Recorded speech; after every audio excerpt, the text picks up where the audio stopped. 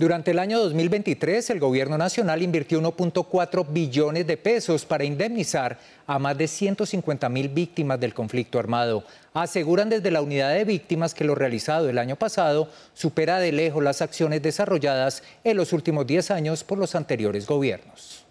La Unidad para las Víctimas entregó 163.314 giros de indemnizaciones administrativas en el 2023 a víctimas del conflicto armado por un monto de 1.4 billones de pesos. De esa forma superó en 58.314 indemnizaciones la meta presupuestada para todo el año que acaba de terminar, que apenas era de 105.000 y proyecta así cumplir los compromisos adquiridos en el Plan Nacional de Desarrollo para el cuatrenio, que busca indemnizar a 600.000 víctimas.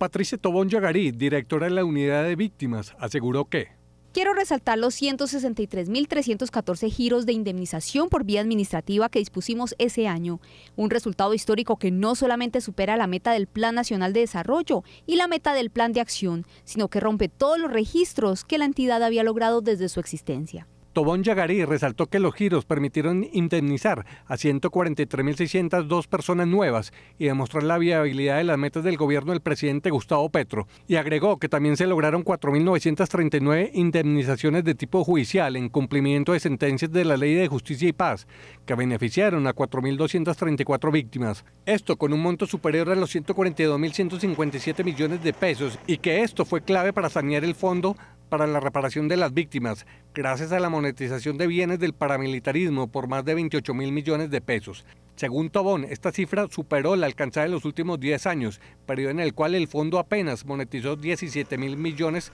del paramilitarismo.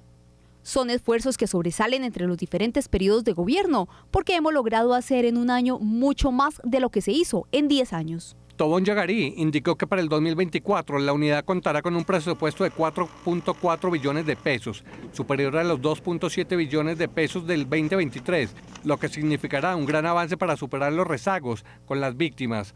De este total, 3.4 billones de pesos se destinarán a procesos de reparación.